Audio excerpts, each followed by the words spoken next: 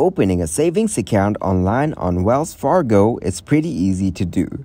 Today I'm going to show you how to do it. Start by opening your web browser and searching for wellsfargo.com. Once you're on the Wells Fargo website, navigate to the Personal section. From there, select Savings and CDs. Next, click on View All Savings Account.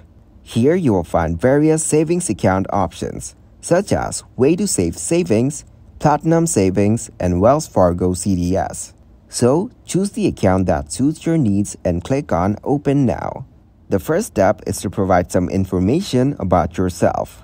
After that, you can customize your account according to your preferences. Make sure to make your opening deposit. Scroll down to review all the information you've entered. If you're already a Wells Fargo online banking customer, select the Yes option. Now enter your username and password. Complete any additional steps required to finalize your application. Finally, click on Continue to proceed.